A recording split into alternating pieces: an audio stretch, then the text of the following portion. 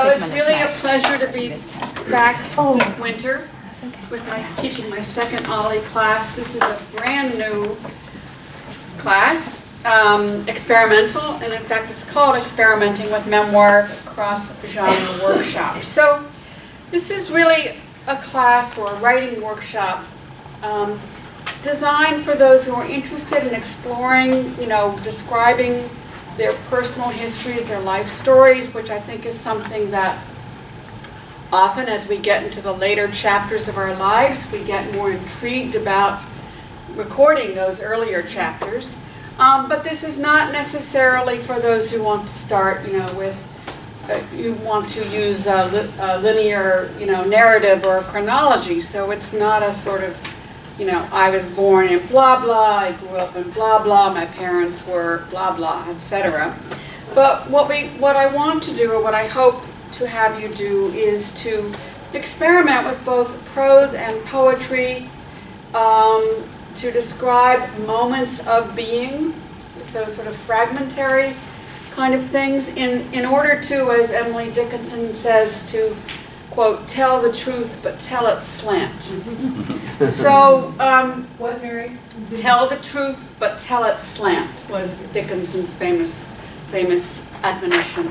So, um, we will be miming, mining these moments of our personal history to create memoir fragments. Um, and we'll be reading a number of contemporary writers who have done this in both prose and poetry and those sort of on the border of prose and poetry.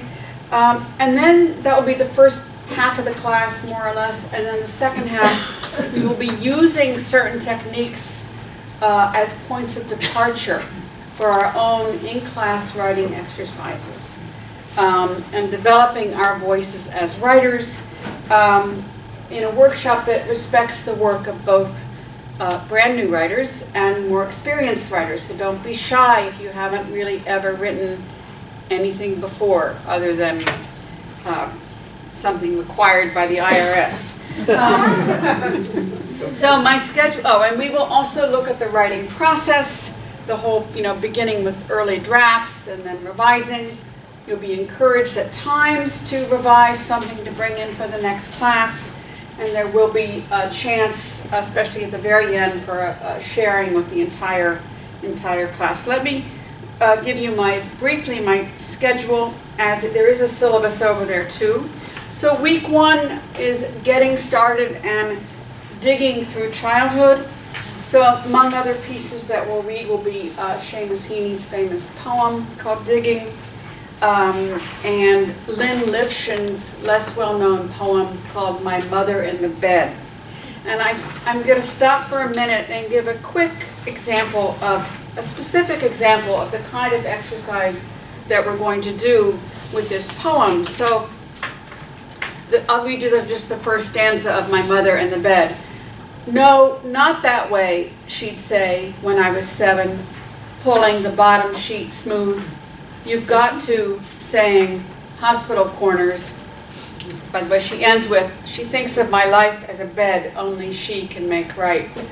But we would take the, those first two lines. No, not that way, she'd say when I was seven.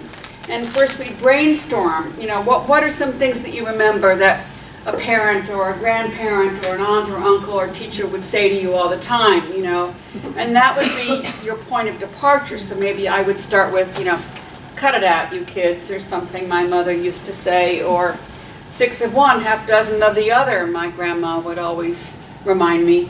Anyway, you'd start with a line, and then you would do a free write, you know, you, springing from that line. Like what, what memories come for you when you think about that line?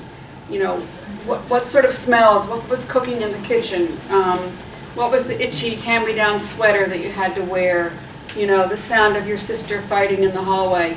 You know, very specific sense memories that we're going to evoke, hopefully through this exercise. And then you'll have a, what I call a zero draft, and we'll talk about ways of turning that zero draft into a more finished piece.